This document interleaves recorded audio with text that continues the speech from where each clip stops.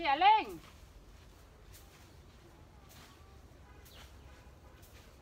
bảo chị lấy cho à chỗ mẹ để muối một canh ấy.